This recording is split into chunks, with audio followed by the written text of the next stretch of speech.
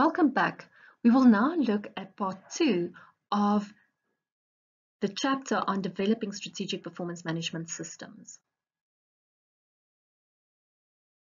So previously we looked at the link between strategy and performance, financial and non-financial performance indicators, and the different models that's been designed to facilitate the process of developing financial of uh, performance management systems. We are now going to look at, in this session, we're going to look at benchmarking, the different types of benchmarking, advantages and disadvantages of implementing benchmarking, divisional performance management, how do we communicate our performance uh, management system, and then finally, integrated reporting as a means of communicating performance to the different stakeholders. So we'll start off with benchmarking. Benchmarking follows a similar process to performance management, but it's important to understand the difference. And the difference lie in the aim of benchmarking compared the aim or the purpose of benchmarking compared to performance management.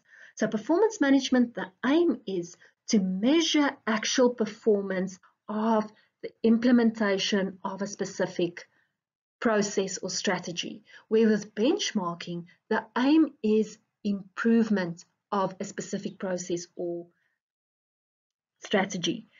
And you will still measure performance uh, compared to a another division organization's performance, but the aim is to see where the company needs to improve.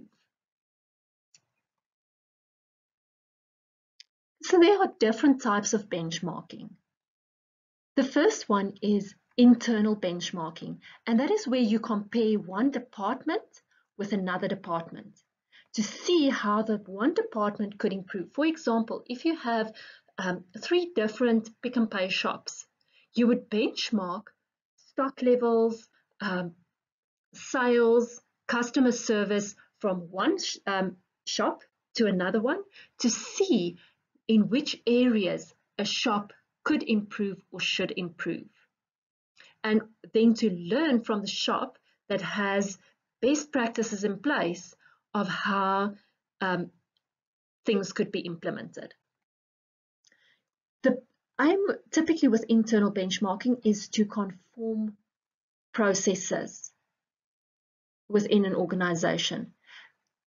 But it is unlikely to bring innovation because you're not doing something different, you're just standardizing existing good practices. The second type of benchmarking is then the competitor benchmarking. And I think this is the one that we often think of when we talk about benchmarking, is the one where I compare my performance to that of competitors.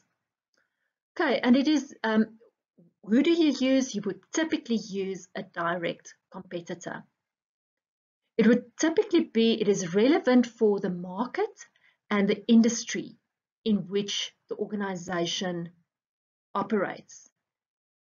The problem, however, with competitor benchmarking is the fact that information is not freely available. So you could use comparing financial statements, but you actually get very little from that. And typically these type of competitor benchmarking are industry driven. So we've been previously um, also talking about the hotel industry, and this is actually an example or of an industry that use benchmarking. And how the benchmarking works is that they will employ an independent agency that do the benchmarking exercises between different uh, between different hotels. So I had a friend that was involved in this type of um, evaluation. So what they would do is they would get um, guests and they pay these people to actually visit different types of hotels. And then after they visit, they're required to complete um, the benchmarking form. And after you have completed the form, you also need to write a report on the performance of the hotel that you have visited. So typically, these benchmark reports are then sent to the different hotels that took part in the benchmarking. And then what they would do is you will see your hotel's performance against um, the competitors, but they will not specifically give the names of the competitors. We Only say Hotel A, Hotel B, Hotel C. And so that is an example of competitor analysis and how it actually works in practice. So the third one is process benchmarking. And this is where you would um, focus on a specific process that you want to improve in your organization. So say your company um, has a logistics department, but that department is not performing well. You would actually look at a company that has best practices in logistics. It is not necessarily a competitor, or it's normally not a competitor, but it is a company that is known for having best practices, say in logistics. And you would then um, perform a benchmarking exercise with the aim to innovate and to improve your current practice on that specific process. The problem, however, with process benchmarking is that it takes time and it is expensive and it's often hard to get another company that is willing to commit to actually being involved in this benchmarking exercise. So for your um, preparation, it's important that you know the different types of benchmarking, um, how they are used, why they are used, and it is typically asked, benchmarking could be as normally asked as um, OTQ questions. So these are the steps um, that you need to take to implement benchmarking and you also need to know these um, steps. So the first thing is identify what is wrong and what it is that you want to improve. Based on that, you will determine what type of benchmarking you will use. You identify the best practice organization or division or competitor that you want to benchmark against. And then you contract for the benchmarking, you prepare for, and you prepare for the site visits. And then you gather information, you evaluate, and then you um, communicate the results. As I said earlier, there's a difference between benchmarking and performance management, where benchmarking is performance improvement and um, performance management is measurement. So typically, as a result of the benchmarking exercise, the measures that's been used will then form part of the performance management system. So typically from the benchmarking, design a performance management system that has similar measures um, included than those that were used in the benchmarking exercise. So what is needed for successful benchmarking? Firstly, you need key executive commitment. So there must be commitment from the top. You need a team of experts um, and to ensure that you have a range of opinions on the feedback that is obtained. You need a team to manage the benchmarking process, a specific team for site visits, specific budget allocation and training, and then a formalized process. Benchmarking works best if it is part of a process uh, that has specific objectives and outcomes. So what are the problems with benchmarking? Firstly, it is very hard to find companies um, that is willing to actually share their the time and the information with um, company with other companies. There's no benefit for them um, doing that. Then uncertainty about what is actually best practice. And then thirdly, it, it could be very costly and it provides a retrospective view. And once again, it doesn't, um, may not necessarily give you um, innovation and it may result in some demotivation um, where employees may feel that they would never reach the standard that is set by the best practice organizations. Next, we're going to look at divisional performance measures. And these divisional performance measures are best suited, suited to companies that have a multitude of divisions that they need to compare performance um, against and where it is important that the different divisions work together to achieve um, overall shareholder value uh, and that there are goal congruence. Okay, so the first two measures are um, financial measures and the triple bottom line, the combination of financial and non-financial measures. So both the EVA and the shareholder value analysis are value-based performance management systems. Economic value added or EVA was developed by Joel Stern and is implemented by his company Stern and Stewart. Um, and the Joel Stern developed the EVA based on his, um, was part of his PhD studies that he did at MIT. And the aim of the study was to develop a performance management or performance measure that is aligned to an organization's um, objective of maximize, maximizing shareholder value. So the EVA is an adapted residual income calculation or measure.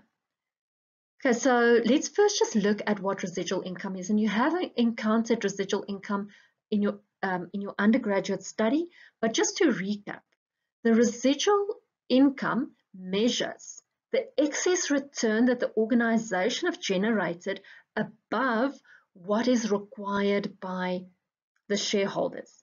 So it is similar to a return on investment, but with, with um, residual income, the answer is not a percentage, it is an absolute um, value. So it would be an absolute rand or dollar value.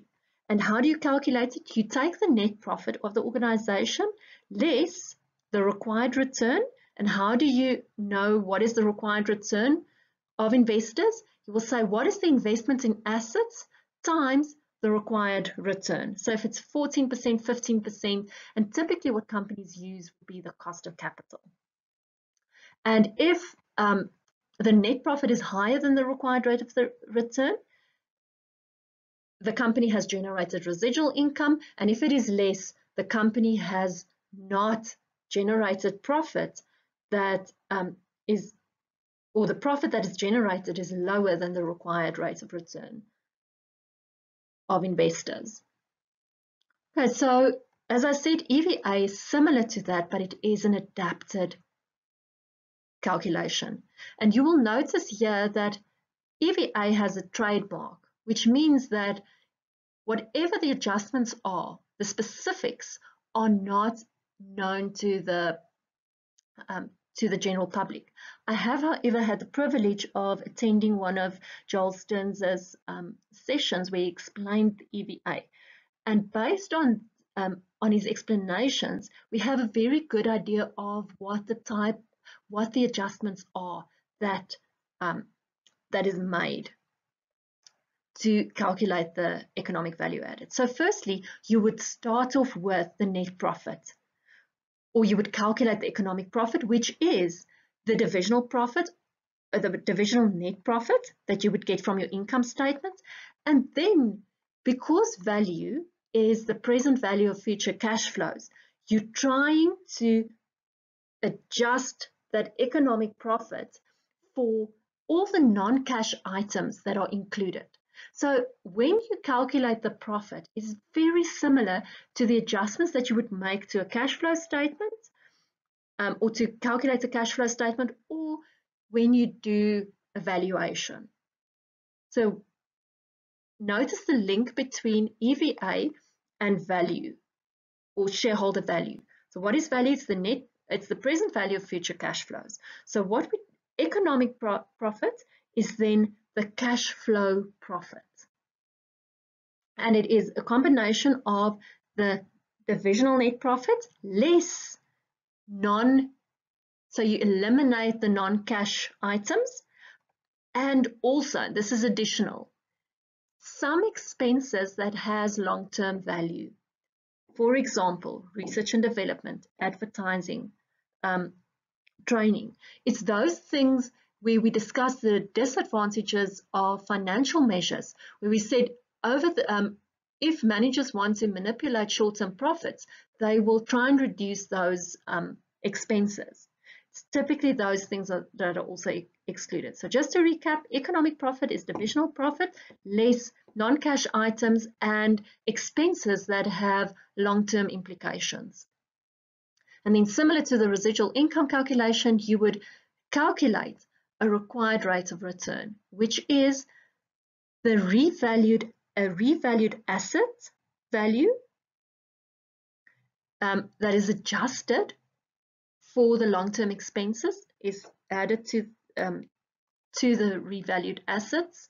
And then you calculate um, times the cost of capital or the required rate of return.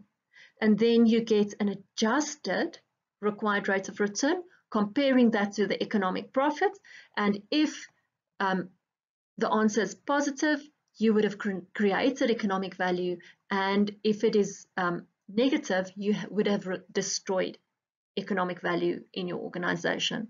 So over the long term, the theory states that if EVA is positive, it would it would help the or it would translate in long-term shareholder value for the organization.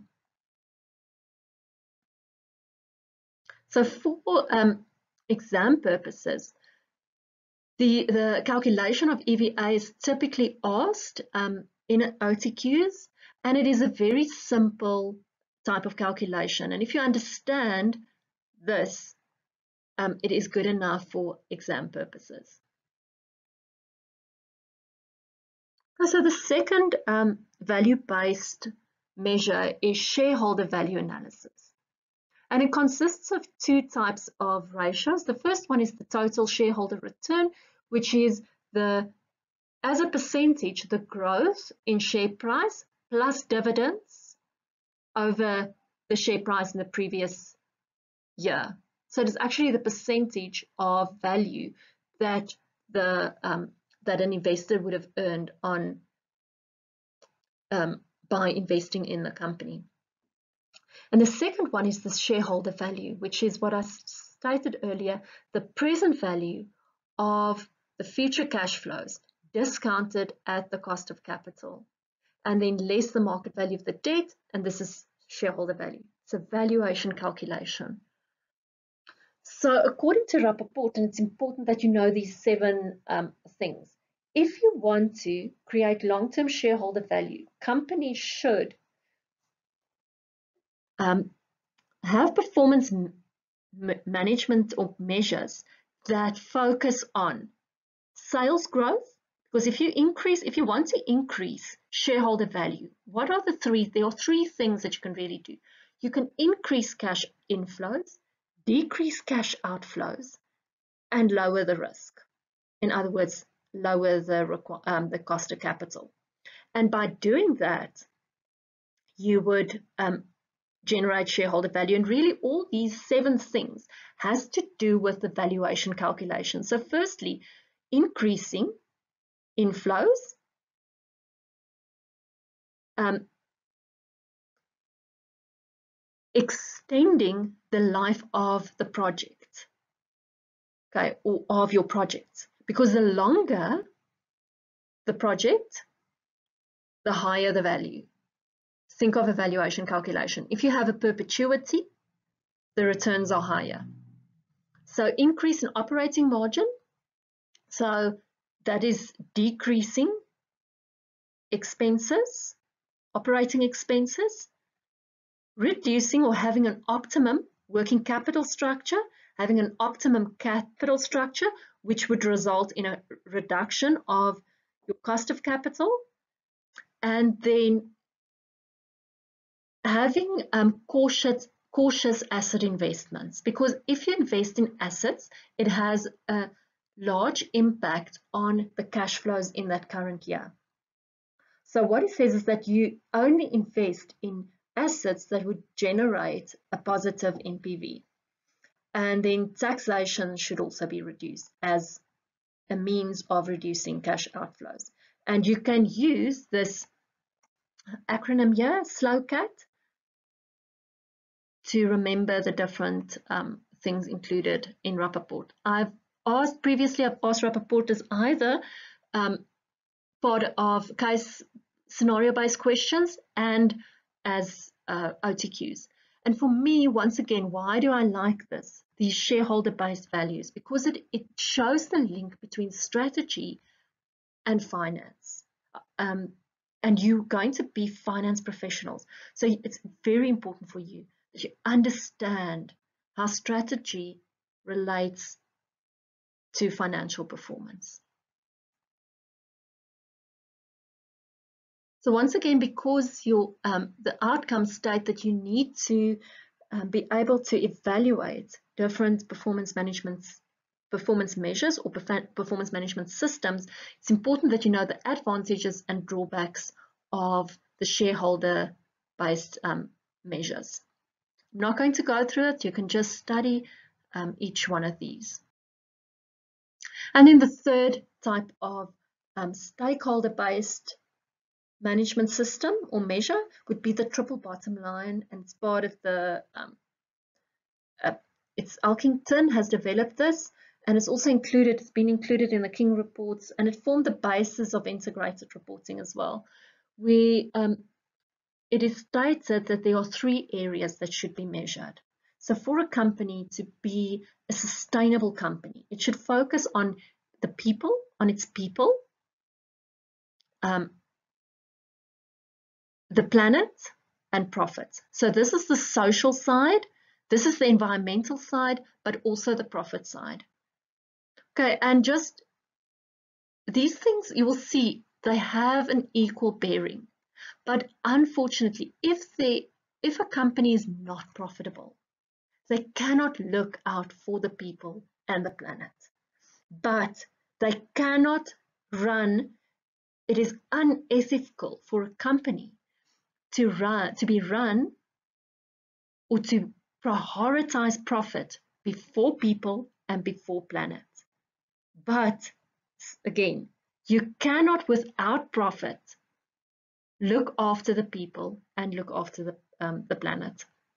And that is really also what was tested in assessment opportunity four. Is that if there are no profits, if the company is in liquidation, it cannot look after communities and employees, and it cannot look after um, the planet. So advantages of the, um, the um, triple bottom line, it is if you if you use this and you incorporate this as performance um, measures, you attract ethical aware customers. Okay, so customers who are concerned about the environment, who are concerned about the reputation of the organization, will not buy from companies who are unethical in terms of how they handle people and how they handle the planet. Okay, you would also attract better quality staff. The staff members do want to work for a company that adds value, that is socially responsible. And then also um, there's actually research that has shown that companies who are more environmentally and socially responsible have um, reduced costs because of the fact that you have um, savings on electricity, um, cleanups, reduced pollution, um, better relationship with, um, with your staff and your customers. And you also have a reduced chance of legal action. And the disadvantages, often difficult to quantify and all companies have different ways of measuring their um, social and environmental investments. And because of this, um, because of the the perception that to be um, socially and environmentally responsible, um, that it has an, a negative impact on profitability, there are often management conflict between the objectives. So should we um, increase profitability over being environmentally responsible or socially responsible?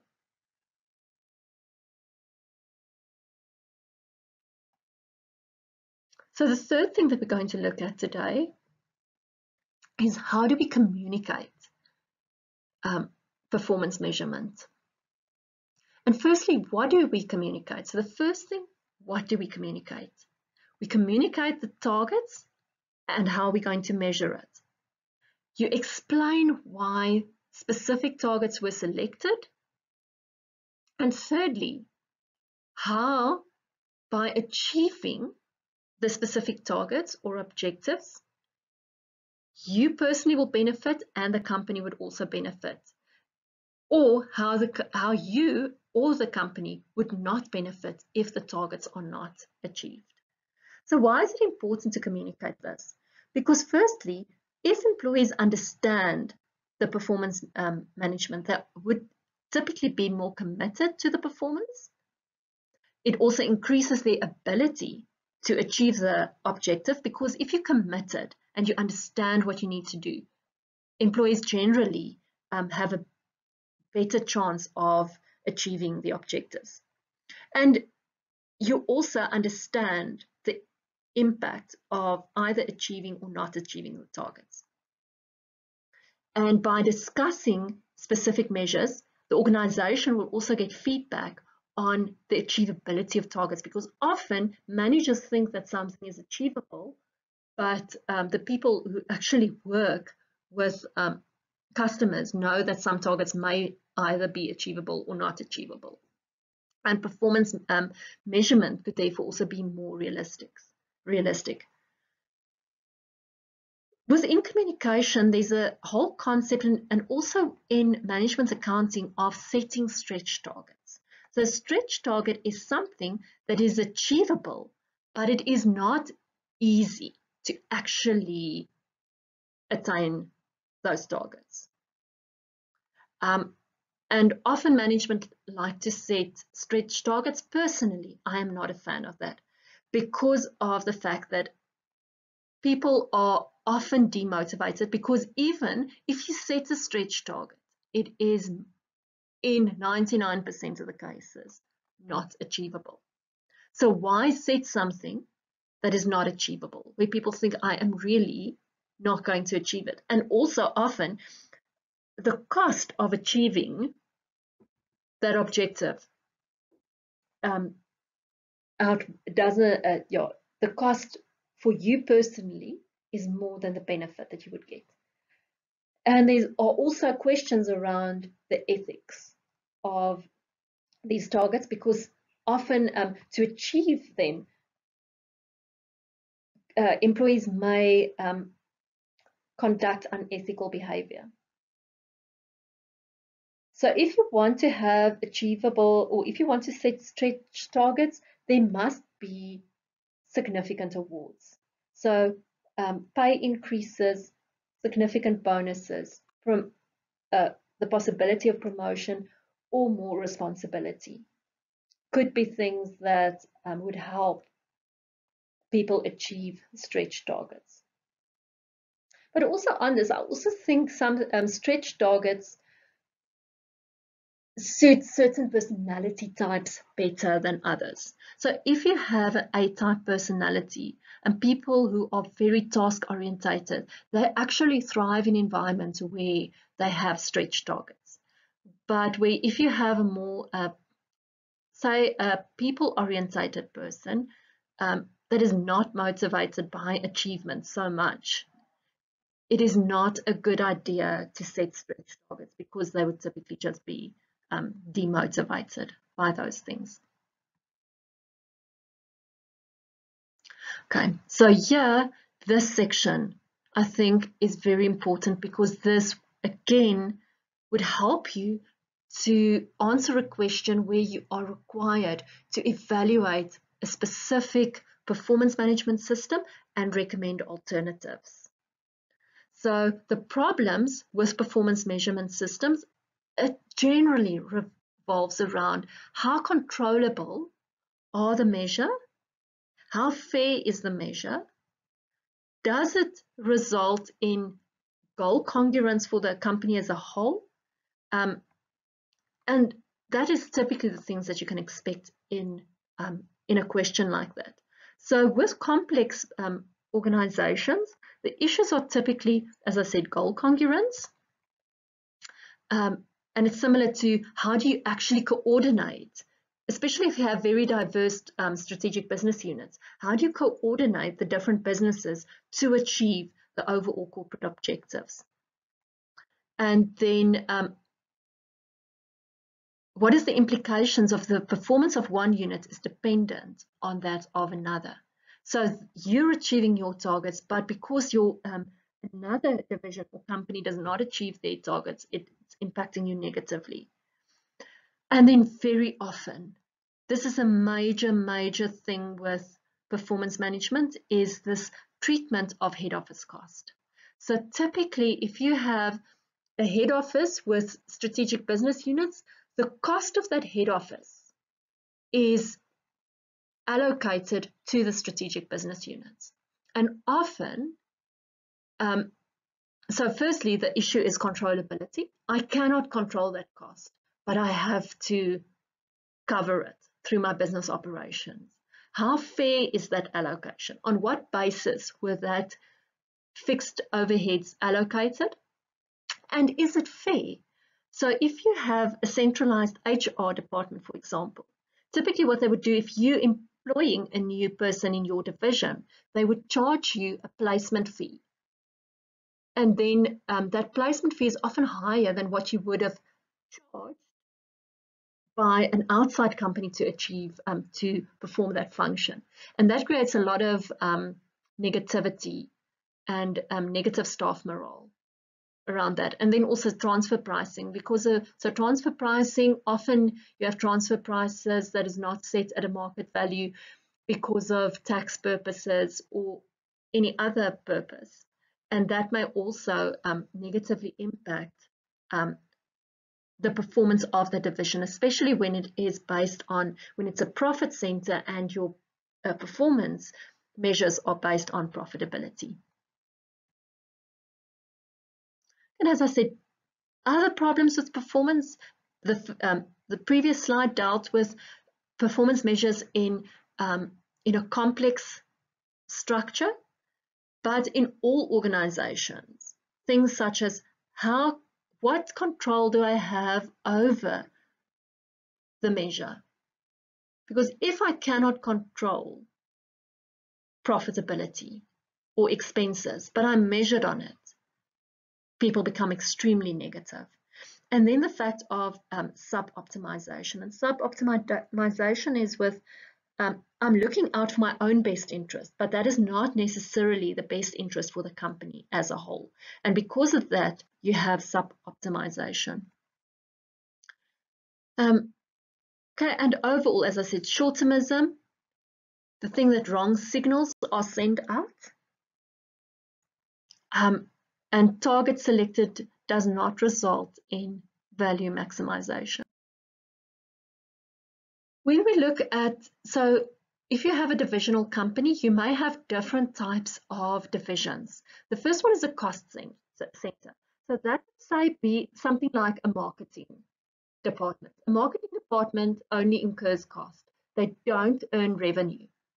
So what you would look at the um, typical measures included for cost center would be what is my total cost compared to the budget? What is my cost per unit? So say you have a training department. Once again, a training department doesn't earn X if, if you don't offer external training, only internally. What is the cost per person that you've trained? What is the quality of the work that you've performed? Um, how productive were you in um, using the resources that were allocated and how efficient have you used those resources. A profit center, that is a, a, a strategic business unit that, in, that has both um, profits, uh, income and costs. But certain things, um, so you, you really just have an income statement. And you, typically in this case, you would have um, allocation of overheads. So that division is only responsible for selling the goods. And it typically would be, say, a, a Pick n Pay that you have um, as a strategic business unit. So that unit is responsible for its own profits. So you'd look at things like sales, margins, the profitability, your investment in inventory, your working capital, what is your customer satisfaction. And the final type of strategic business unit that you could get is an investment center. And that is where that company operates totally independent from, um, from your parent company. Um, and there you would use a full set of financial, non-financial measures with re return on investment and um, or, or, a combination of shareholder-based performance management. So an investment center is treated as a company on its own. So here are the, are the things that you have to watch out for. And this is really a summary of all the problems of um, performance management. So the first one is that there could be misrepresentation. So people can manipulate or misrepresent information to increase the division or personal performance me um, measures. Gaming. Um, what I've said earlier about companies trying to um, not have outliers, but have a steady increase in um, in profits. And you, so you therefore do not have, because you, you're managing your own interests, you're not giving a fair reflection of what is happening. And also you don't want high profits this year because next year you even expected to have more. So I know with my husband's company, they had a budget session earlier this year while we were on full lockdown. And with them, I was actually laughing. They have this, um, the fake budget. I won't say what the real name for that was, but uh, um, the BS budget and the actual budget. So the BS budget is sent to head office, um, and that is what the performance is measured on. But then the actual budget is what they internally, as their division, is trying to achieve with stretch targets, etc. So that is an example of gaming. And then misinterpretation. So um, different people or different managers could interpret different measures differently or incorrectly. And that has a result that may impact um, actual performance. And then short-termism, where you focus on the short term, we've spoken about that a lot. Uh, measure fixation, so you only focus on the measures. And that's typically the case where you use financial measures. So I'm only focusing on this and then I'm neglecting the other things. And it's similar to tunnel vision. We only have this and it, you don't consider all aspects. Sub-optimization is um, we it's um, not achieving the objectives of the organization as a whole, and ossification, which relates to the unwillingness of people to change. So you use performance management to actually just keep the status quo. So the final section that we're going to look at is integrated um, reporting. And as stated previously, it relates to how do we report to all our um, stakeholders. The, so we report the performance of the company um, to all stakeholders. And within integrated reporting, management accountants play a very important role in actually generating this information because with an integrated report, the aim is to give a balanced view, including both qualitative and quantitative information. And the aim is for for the company to communicate their ability to create value over the short, medium, and long term. And what you're trying to do is link past performance to your present performance and explain how it will impact your future performance. Um, you also need to um, consider the impact of the external environment and it, consider, um, and it consider, considers the optimum allocation of resources through your discussion of your business model. Um, and um, it's tailored to specific businesses and um, the main criticism of integrated reports is that it is too long and it contains too much information. So the challenge, challenge lies in reporting everything that you have to, but it should remain concise. Um, a student of mine, a master's student, have actually done some research on the skills required by integrated reporting. And um, a study found that management accountants, the profession, is actually best uh, preparing students to perform the functions of integrated reporting. So, as I said previously, each company at this stage can decide how they want to prepare their integrated reports. So the um, integrate the International Integrated Reporting Council, that is the IIRC, has however created an integrated reporting framework, the IR framework. And that IR framework has provided some guiding principles. But the challenge at the moment is that those principles are not enforceable. And um, so within the EU companies, the um, Europe um, and African companies, they typically follow the um, the guidelines of um, the IIRC, but the American companies basically um, they're not so much into integrated reporting, but they've adopted the GR, um, the Global Reporting Initiative, the, those principles, and we will discuss that also just in a few minutes. Um, so um, what are the guiding principles is that in your, your, integrated report should have strategic focus and future orientation. Information should be connected. So information on your capitals, information on your financial and non-financial information should be connected. It should consider stakeholder relationships. It must have materiality.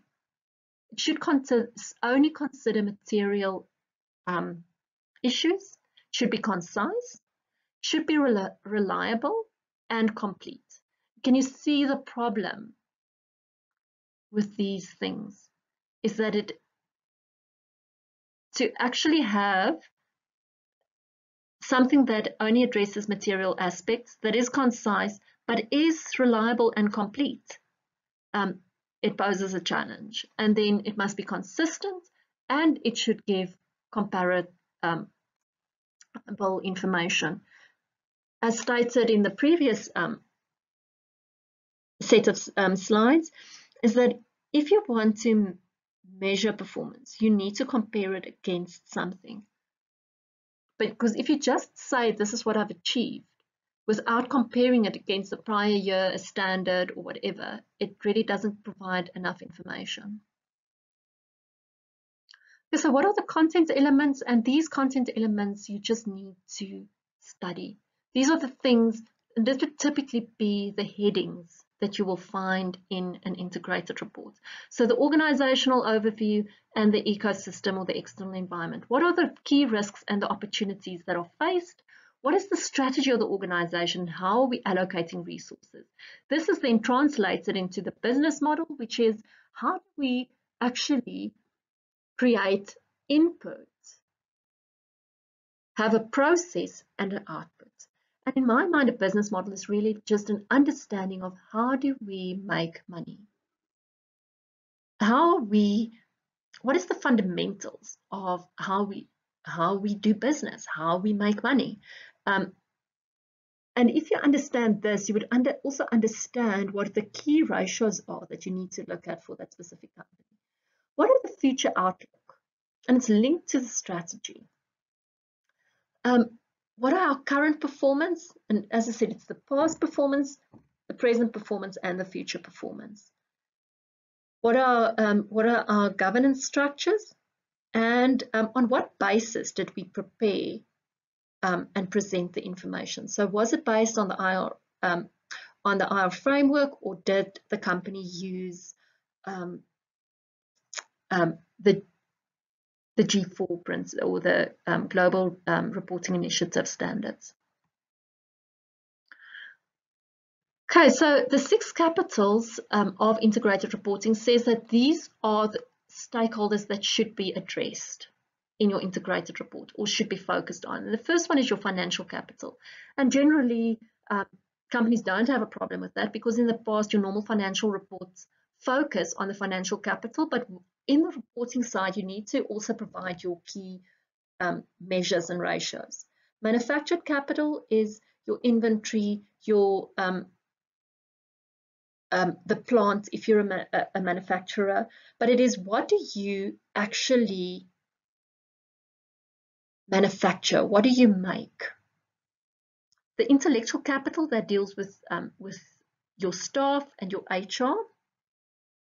Um, oh, sorry, not not so much. The intellectual capital is your trademarks, your patents.